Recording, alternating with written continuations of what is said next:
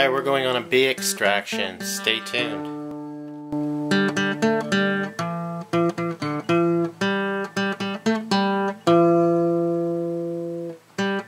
Hi, I'm your host Jerry Hansen here at Pine Meadows Hobby Farm. I want to thank you guys for coming.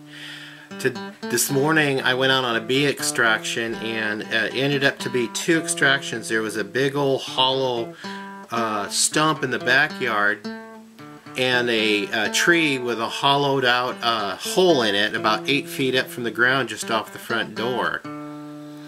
So the tree was a little bit more uh, unforgiving at extracting the hive.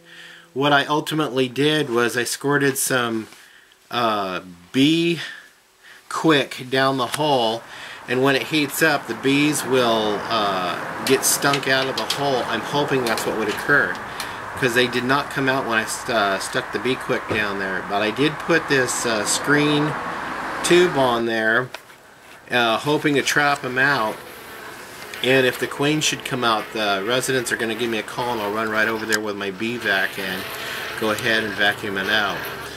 But my buddy went and brought his chainsaw and cut out the stump that was in the backyard and we loaded the stump, uh, beehive and all, up into the back of his truck so he can take it home and recolonize and rehome them in hives at his place as you see here.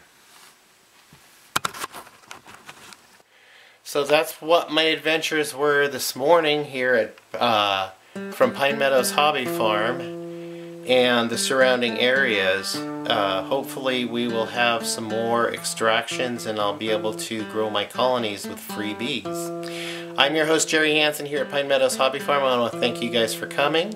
Please subscribe, give me a thumbs up, and leave a comment. I always like reading your comments, and we'll see you guys on the next video. Bye-bye.